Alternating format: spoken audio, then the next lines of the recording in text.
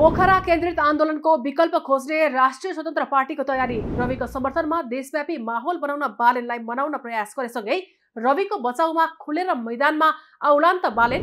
आउनुहोस् सूत्र टिभीको न्युज एन्ड भ्युजमा यसै विषयमा चर्चा गरौँ।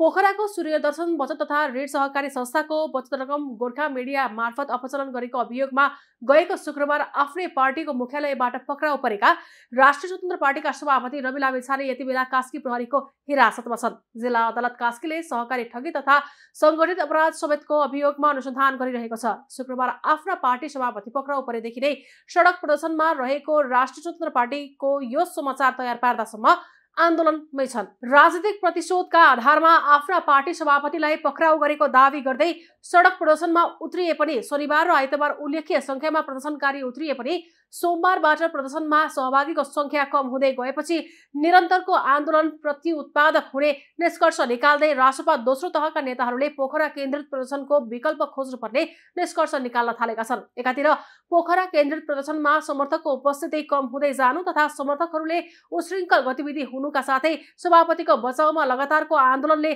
कानुनी राजकै उपहास हुने भन्दै राष्ट्रिय स्वतन्त्र पार्टीका उपसभापति डाक्टर सोडिम वाग्ले समूहले निष्कर्ष निकालेपछि अर्का उपसभापति मत डीपी और छलफल गरेर दुवै उपसभापतिले सोमबार नै प्रहरी हिरासतमा रहेका लामिछानेसँग भेट गरेर पोखरा केन्द्रित आन्दोलनसँगै अबको भावी योजनाबारे संक्षिप्त छलफल गरेको दावी गरिए पनि यसको स्वतन्त्र पुष्टि भने हुन बाँकी छ। अर्कोतिर गएको शुक्रबार बिहान आफू विरुद्ध पक्राउ पुर्जी जारी हुनु अगाडि नै प्रमुख प्रतिपक्षी दल नेकपा माओवादी केन्द्रका अध्यक्ष पुष्पकमल प्रचण्डको आह्वानमा भएको विपक्षी दलहरूको बैठकमै राष्ट्रसभा सभापति लामिछानेले आफ्नो सम्भावित गिरफ्तारीको विरोधमा सहयोग गर्न विपक्षी दलहरूलाई आह्वान गरे पनि सत्ता गठबन्धनमै रहेका डाक्टर सिके राउत नेतृत्वको जनमत पार्टी भन्दा बाहेकका अन्य दलले रविको गिरफ्तारीको विरोध नगरेपछि सडक आन्दोलनमा समेत रासपा एक्लै परेको अवस्थामा राष्ट्रिय स्वतन्त्र पार्टीले विपक्षी दलहरू सहित डाक्टर राउत नेतृत्वको जनमत पार्टीका साथै काठमाडौँ महानगरपालिकाका मेयर बालेन शाहसँग समेत रविको गिरफ्तारी विरुद्ध नैतिक समर्थन जुटाउने प्रयास थाल्ने तयारी गरेको छ। पोखरा केन्द्रित बनेको रासपाको आन्दोलनलाई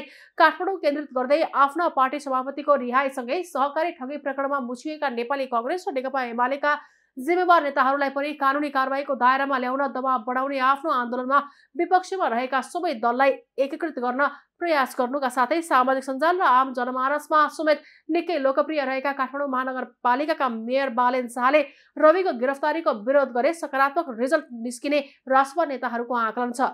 तर सहकारी ठगी प्रकरणमा गएको शुक्रबार पक्राउ परेका रासपा सभापति लामिछानेको पक्राउबारे काठमाडौँ महानगरका मेयर बालेन शाहले अहिलेसम्म कुनै प्रतिक्रिया भने दिएका छैनन्। वैकल्पिक राजनीतिक शक्तिको रूपमा स्थापित हुने प्रयासमा रहेको राष्ट्रिय स्वतन्त्र पार्टीलाई स्वतन्त्र मेयर शाहले समर्थन गरिदिए रविको रिहाईको मागमा बल पुग्ने भए पनि मेयर शाहले रविको समर्थन गर्छन् वा गर्दैनन् भन्ने कुरा भने अहिलेसम्म पनि अनिश्चित नै बनेको छ। सहकारी ठगीमा पक्राउ परेका राष्ट्रिय स्वतन्त्र पार्टीका सभापति रवि लामिछानेको रिहाईको पक्षमा बालेनले नैतिक समर्थन गर्ने सम्भावना तपाईँ चाहिँ कतिको देख्नुहुन्छ? कमेन्ट मार्फत आफ्नो विचार व्यक्त गर्न नभुल्नुहोला।